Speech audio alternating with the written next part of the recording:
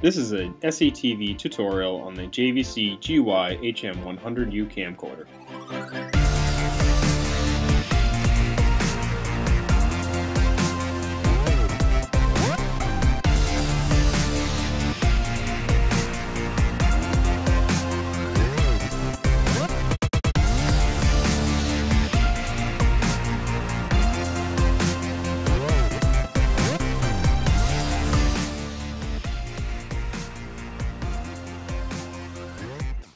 So let's start with the controls on the side of the camcorder. This switch right here is the ND filter. You can turn it on for really bright days outside, or you can switch it off for inside shooting or cloudy days. It's essentially sunshades for the camcorder. This other switch is the focus and zoom, and by switching it down to zoom, it turns this ring into a zoom ring. Switching it up to focus turns that ring into a focus ring. So it's a dual functioning ring. This button is the autofocus and manual focus button. Uh, by pressing it, you can switch it from autofocus or manual focus. The next button is the full auto button. Basically what that does is a press of that will change the camera settings to fully automatic. Everything from the gain to the white balance. Also by pressing it, you can switch over to manual mode on the camcorder. You'll see down here there's a gain switch. There's low, medium, high settings. This is really helpful if you just don't have enough light. Uh, I wouldn't suggest using it all the time, but it is very helpful for low light settings. The next switch is the white balance switch. You notice there's a B, an A, and a preset setting. Those are helpful if you're going from multiple rooms like room A or room B, and you can set them to specific white balances for each room. The preset is a setting that's actually controlled in, in the camera to a certain temperature, a Kelvin temperature. One of the last buttons on this side that you'll use is this A slash B button. And all that really does is switch what memory card the camera is recording on since you can use up to two memory cards. The white balance button is actually kind of hidden on this camcorder, but it's right in the front. You'll see AWB button. That is actually what you press when you go to white balance the shot. As I said before, the A slash B button does control these two slots. These are where you would be putting both your SD cards or only one SD card just by flipping down the door like that and inserting them then. If you open up the viewfinder, you'll find another set of buttons as well as some of the video outputs. The buttons we're going to talk about are the display button, the menu button, and the cam slash media button. The display button will toggle the display on the viewfinder on or off. The menu button will display the internal menu in the camera where you can change some of the settings, which we'll look at later.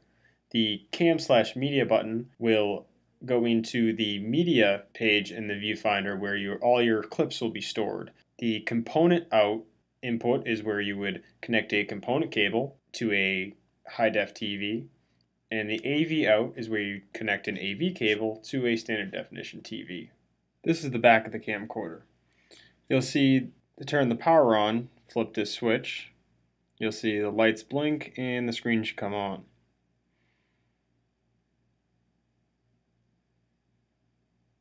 To record something, press the record button, and to stop recording, you can press it again. Over here, you'll see the iris button, a shutter button, and the AE shift button. The adjuster knob slash volume knob will be used to adjust the iris shutter or the volume of the playback speaker.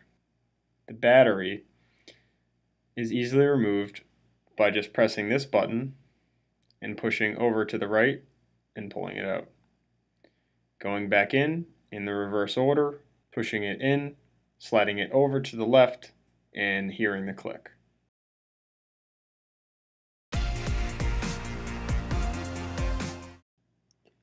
So here we are in a green screen room. We're going to go into some manual adjustments. Make sure you're in manual mode. The iris is set by pressing the iris button and then using the volume slash adjustment knob to go up or down or open or close the iris.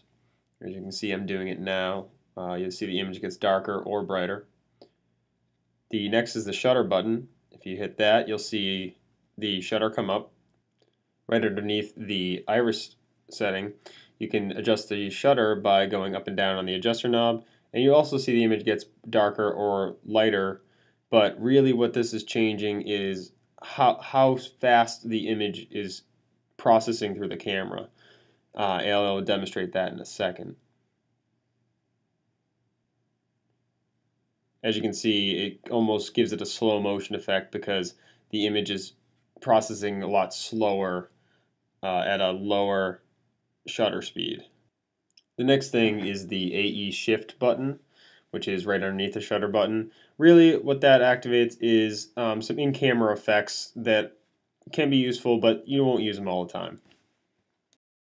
Now let's go into some of the menus inside the camera by pressing the menu button.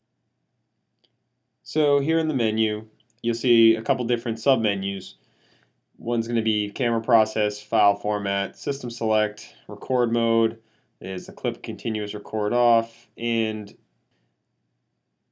I'm going to show you the ones you really have to pay attention to. One of the first things being the file format. If you're working on a Mac, you're going to want it on the QuickTime file. If you're working on a PC, you may want the MP4 file. It's just important to, to see which one it's on. Here in the System Select menu, you'll see that you can shoot 1080p video or 720p. There's also some PAL settings, the 50 to 25 you'll see, and 24 frames. You can also shoot with these cameras.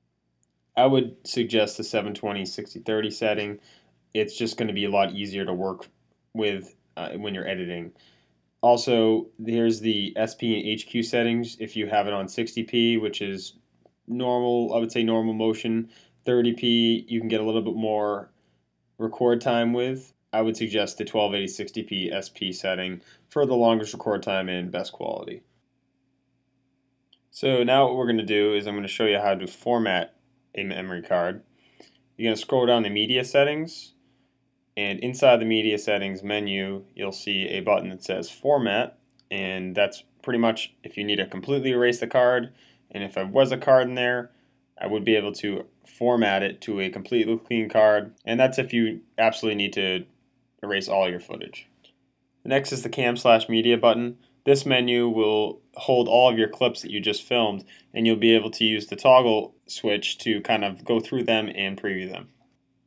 Here we have the audio block, and on the audio block, the channel 2 input, you can switch from input 1 or input 2. Input 1 being the stereo input for whatever mic's in input 1, or input 2 is where you'll switch it to if you're going to add another mic. It basically splits the channels from left and right.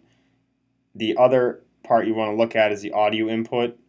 Uh, what that is, is actually what kind of mic you're putting into this input, which whether it's a line feed from a PA, a mic that, ha that has its own battery source, or a mic plus 48 volts, which is a mic that requires some sort of phantom power. The next thing would be to set your audio level. There's two ways to do it. You can set it auto and it will automatically set your levels, but sometimes you may need to manually set the levels if something's too loud or too soft. So you can switch it over to manual and you can manually adjust the knobs of channel 1 and channel 2 to whatever number and that would actually represent the level that it's on. On the other side of the audio block, you'll see the two inputs for the XLRs, and to remove them, simply just press on that push button. It pops right out, and in reverse, you can pop it right back in.